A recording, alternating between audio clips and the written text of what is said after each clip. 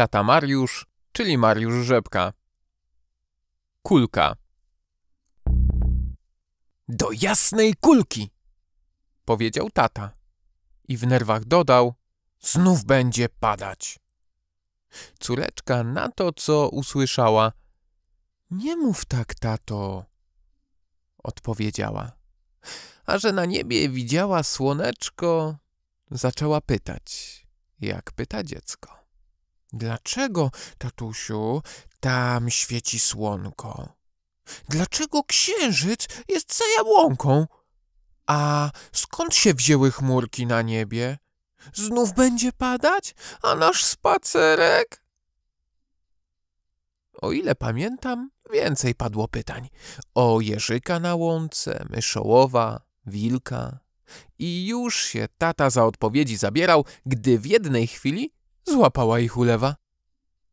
Lecz jeśli myślicie, że na tym koniec, o nie, nic z tego, bo yy, ten ptak to dzwoniec. Mama pokazała pierzastą kuleczkę toczącą nierówny bój z ulewnym deszczem.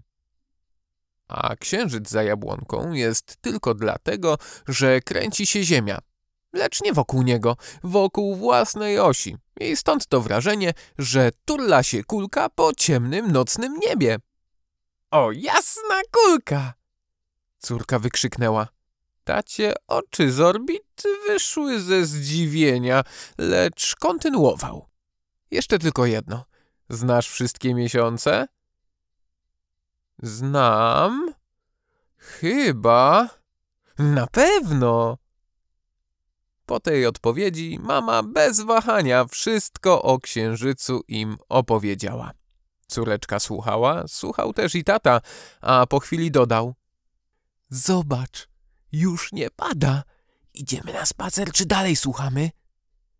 Córeczka pytająco spojrzała w stronę mamy, lecz mama uśmiechem jej odpowiedziała: Idziemy. Tato. Tak?